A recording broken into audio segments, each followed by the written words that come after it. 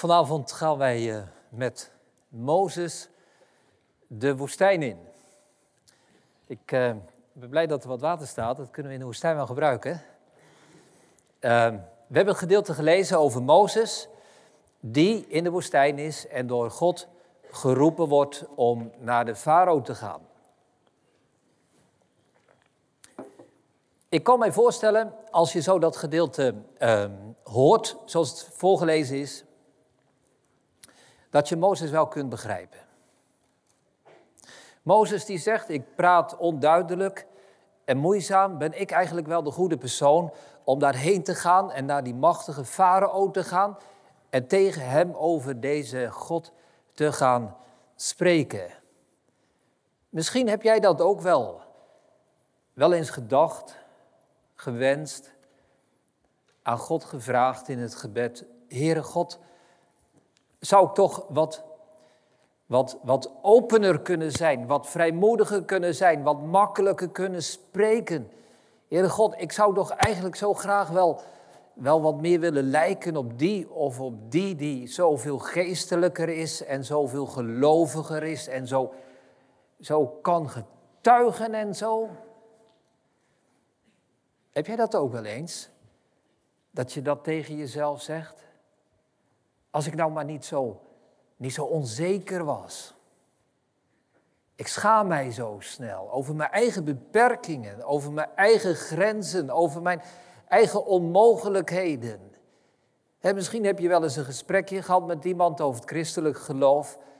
En terwijl je daar staat te praten, dan denk je, wat zou die ander wel niet van mij vinden? Uh, misschien vindt hij of zij wel dat ik, dat ik te dik ben, of dat ik te dun ben, of dat ik te lang ben, of dat ik te kort ben. Misschien zien ze wel dat ik zo gespannen ben. En je voelt jezelf daar staan en je krijgt al die vragen naar je toe. Je denkt, kan ik dit wel? Kan ik dit wel? Ben ik hier eigenlijk wel de geschikte persoon voor? Het kan nog wel verder gaan dat je die vragen stelt, aan God stelt, in het gebed aan hem neerlegt en zegt, Heere God, waarom, waarom is dat nu zo in mijn leven dat ik die diagnose van autisme heb gekregen? Of dat ik borderline heb? Ik wil u dienen, maar ik kan het niet. Ik ben zo beperkt. Nou, als jij Mozes begrijpt, dan denk ik dat Mozes jou zou begrijpen.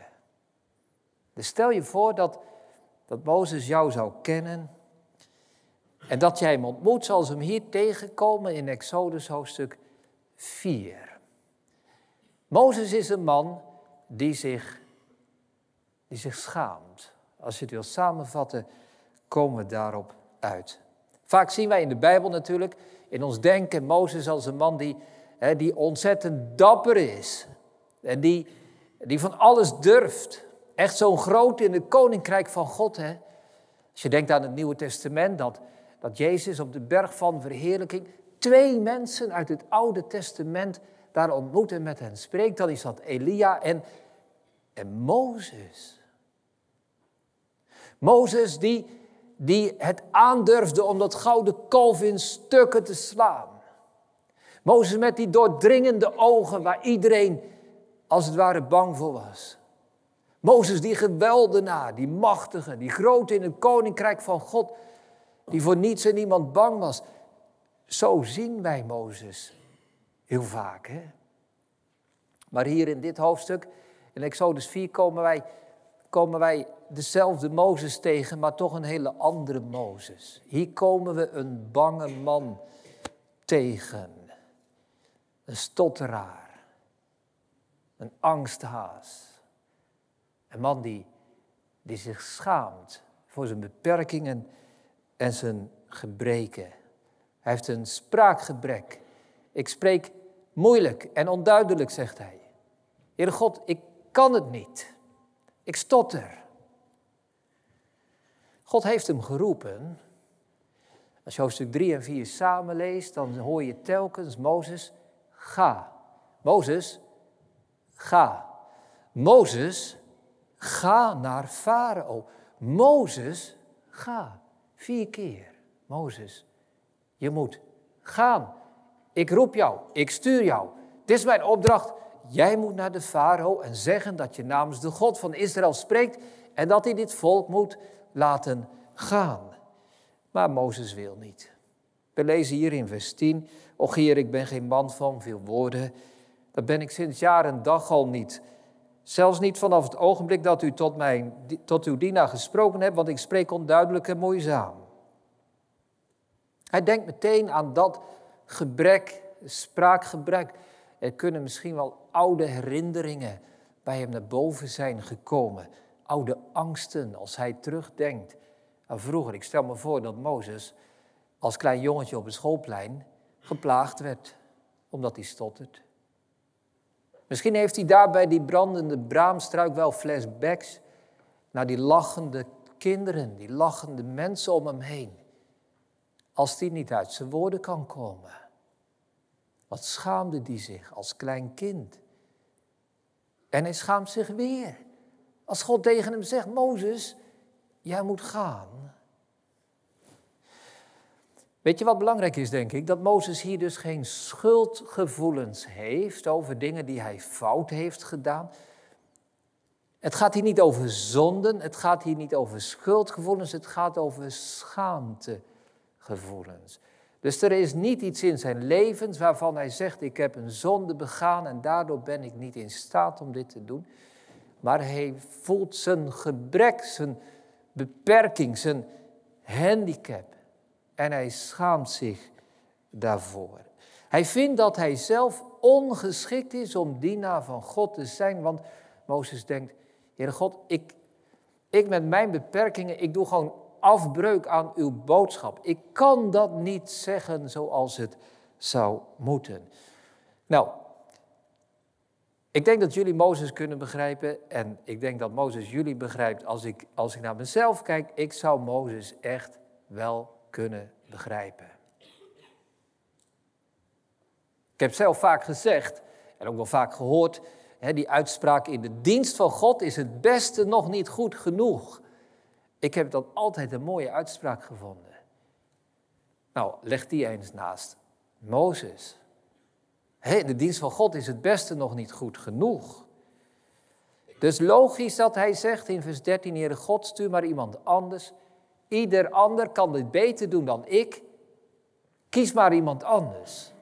Want in de dienst van u is het beste nog niet goed genoeg, dus u moet mij niet hebben.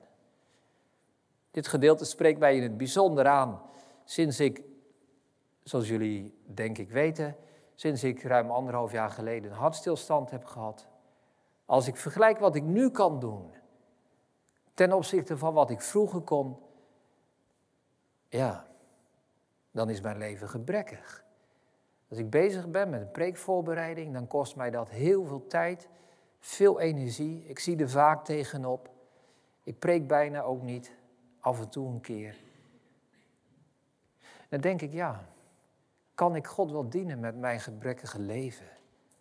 Ik had een tijdje geleden een gesprek met mijn psycholoog erover en, en die zei tegen mij, joh, weet je wat, je gaat gewoon voor een, voor een zeven of een zes. Nou, ik sprong bijna op uit mijn stoel. Nee, natuurlijk niet. Ik ga voor de tien, want in de dienst van God is het beste nog niet goed genoeg. Als ik nu aan terugdenk en die vraag ook aan mezelf stel, kan ik God dienen met een gebrekkig leven? Dan herken ik veel van wat Mozes hier zegt. Nou, kortom, Mozes, Mozes wil wel.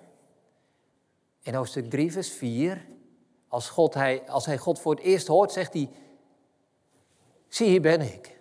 Mozes wil wel, maar Mozes wil niet. Hij wil niet. Ja, ik vind het goed dat het gebeurt, Heere God. Maar, maar nee, voor deze taak, voor deze roeping, ben ik echt ongeschikt. U moet iemand anders hebben. Als u mij kiest, is dat echt een belemmering voor het werk van God in deze wereld.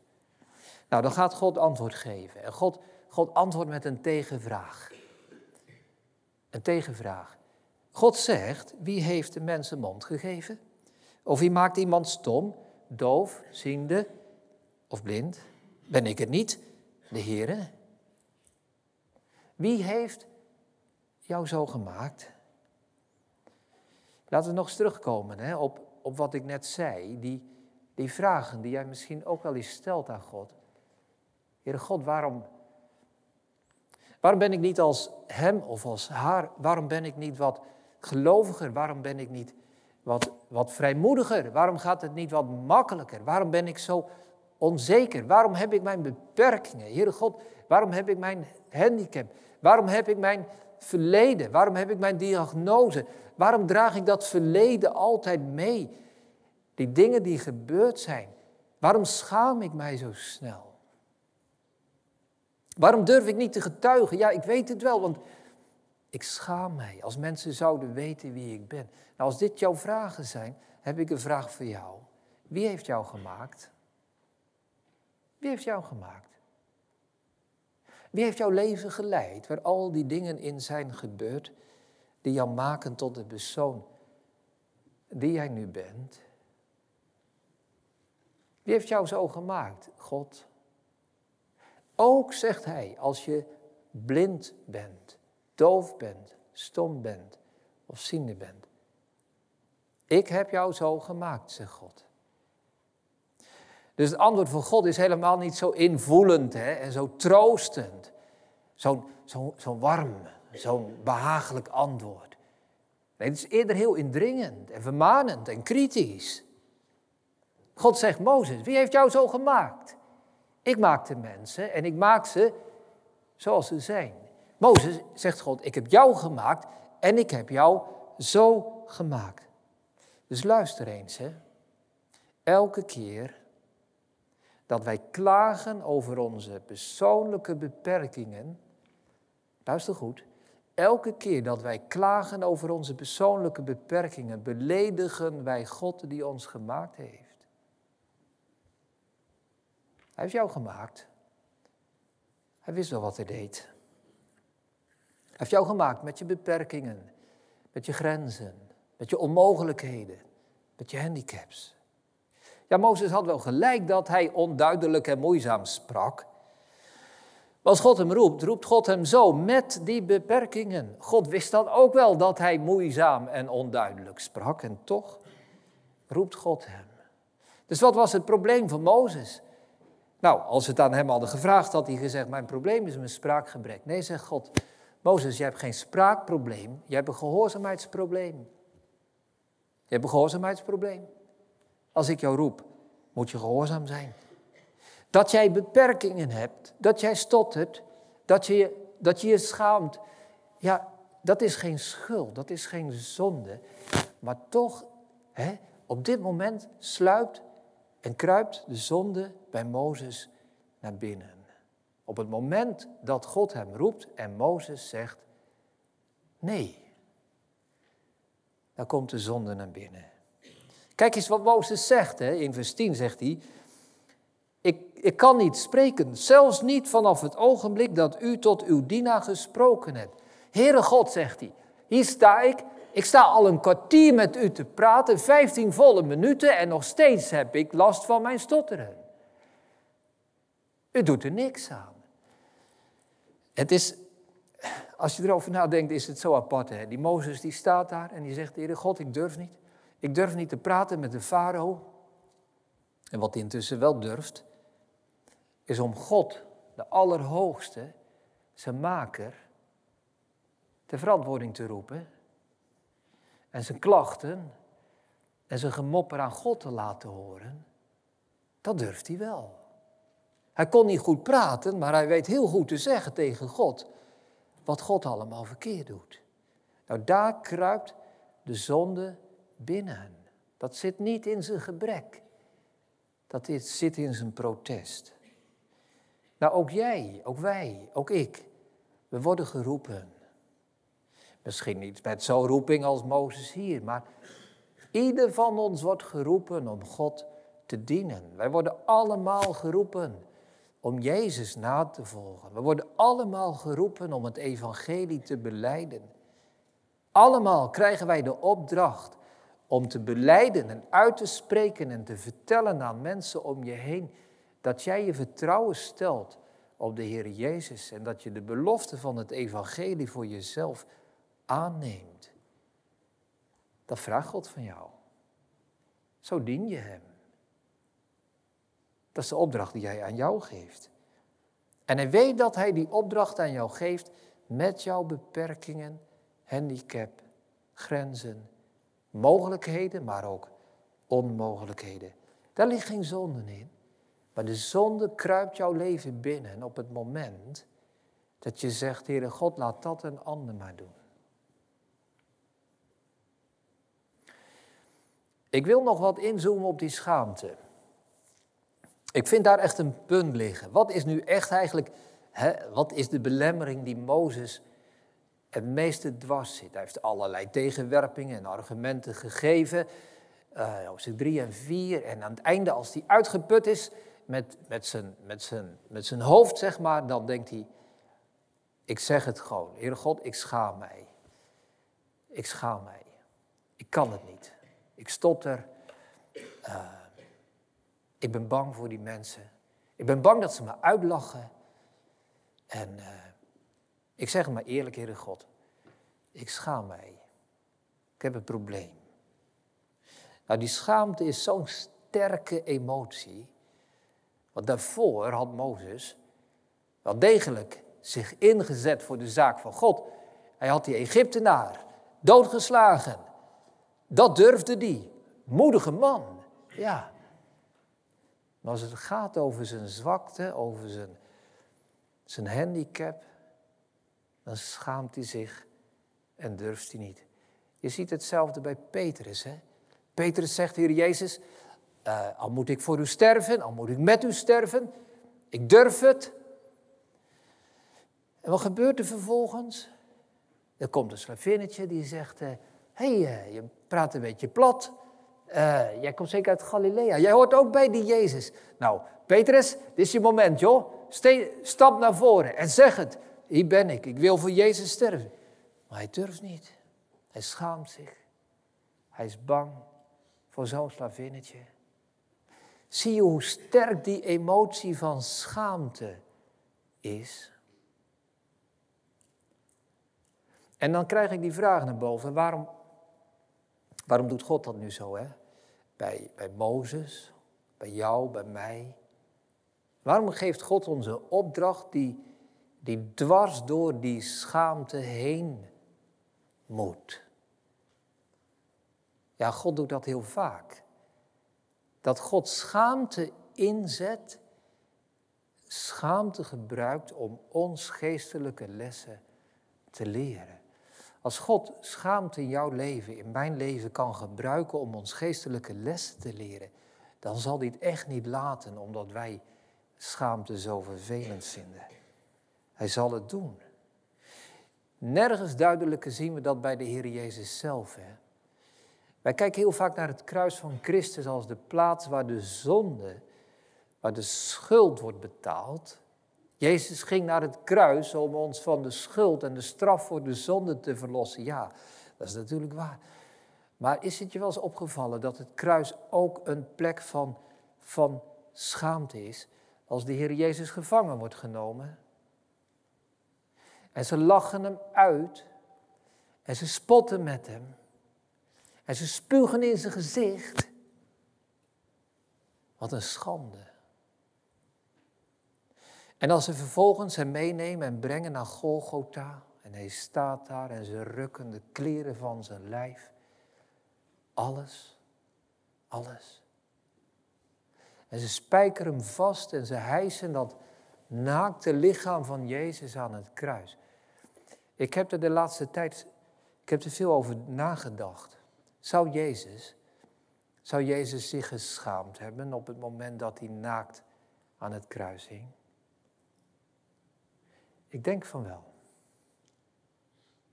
Ik denk dat Jezus zich schaamde. Dat Jezus zich geschaamd hebben toen hij van tevoren wist wat er komen ging. Hij wist dat hij gekruisigd zou worden. Hij wist dat de kleren van zijn lichaam werden gerukt. Hij wist dat hij daar naakt zou moeten hangen.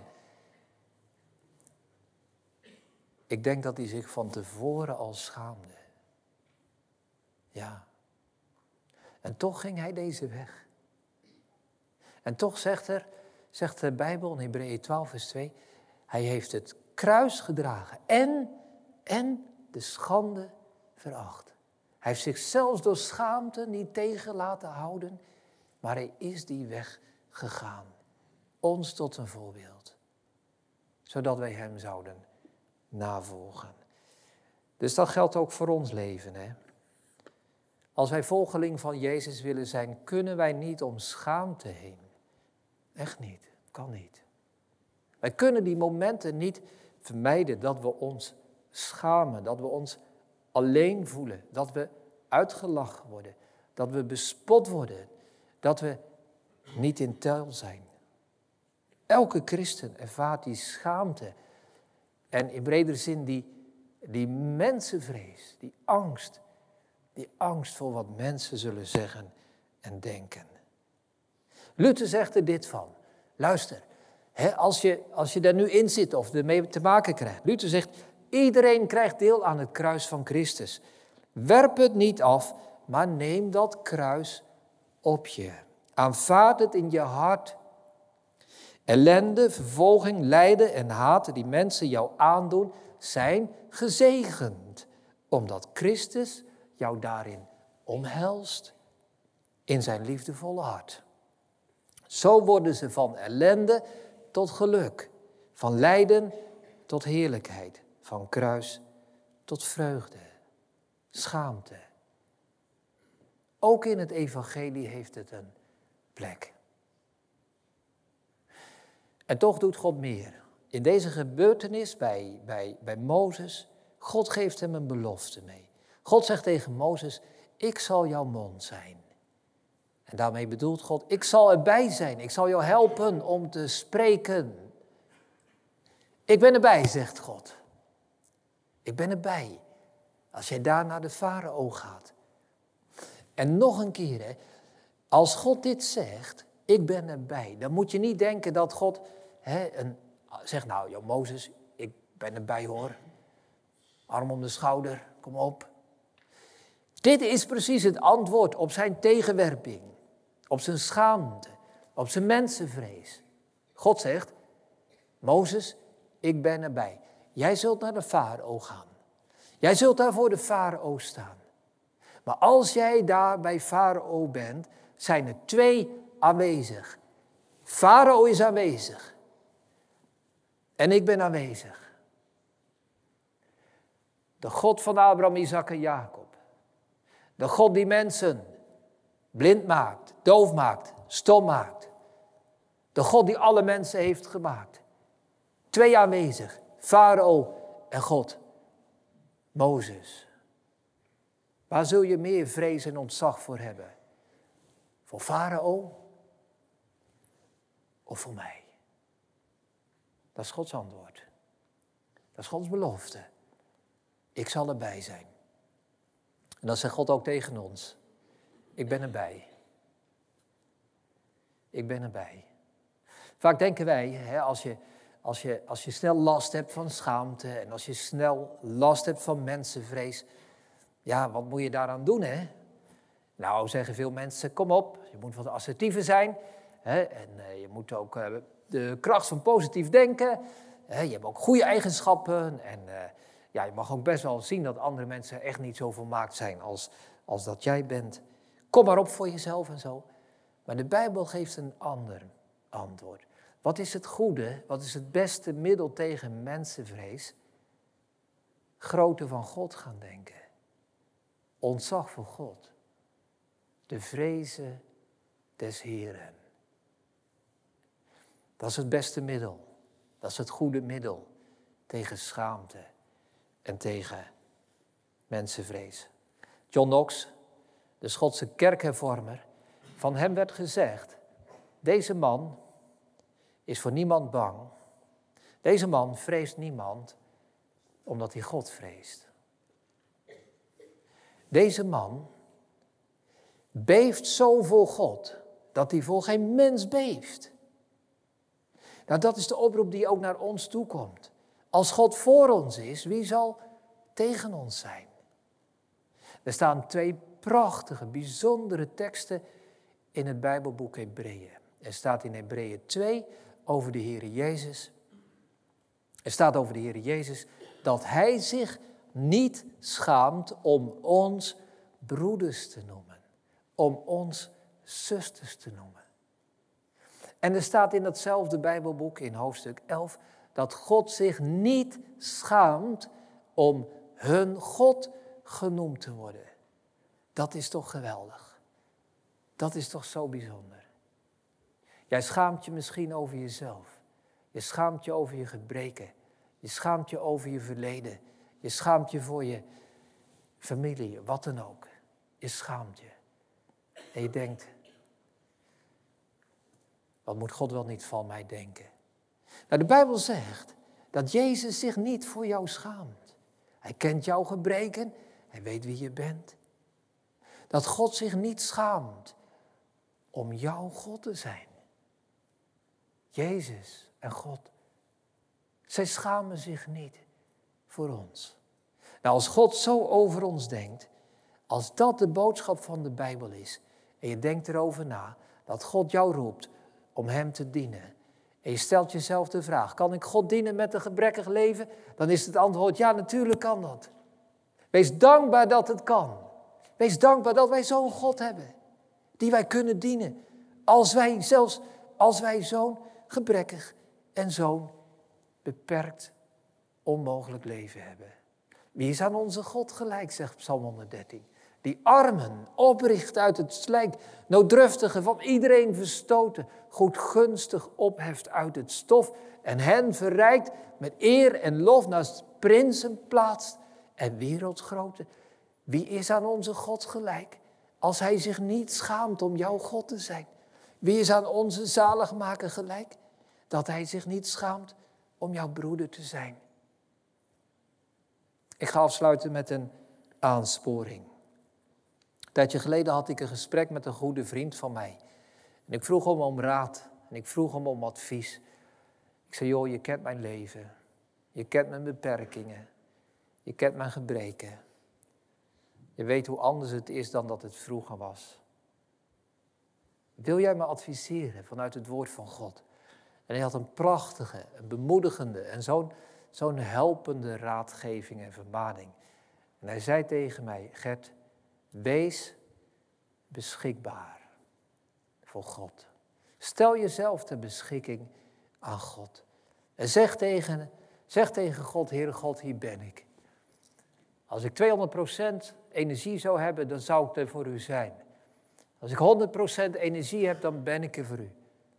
Als ik 50% heb, dan stel ik het voor u ter beschikking. Als ik maar 10% heb, Heere God, het is voor u. En als ik 0% heb, als ik helemaal niks heb, dan ben ik toch tot uw beschikking. En die aansporing geef ik aan jou, geef ik aan jullie door.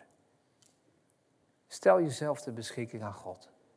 Met je mogelijkheden, met je onmogelijkheden, met je gebreken. Als je 100% hebt, als je 50 hebt, als je 10 hebt. En ook als je niks hebt. God heeft jou gemaakt. Hij weet wel wie hij roept. Hij roept jou. En als je deze God, de Allerhoogste, de Maker, als je Hem vreest, hoef je geen mens te vrezen.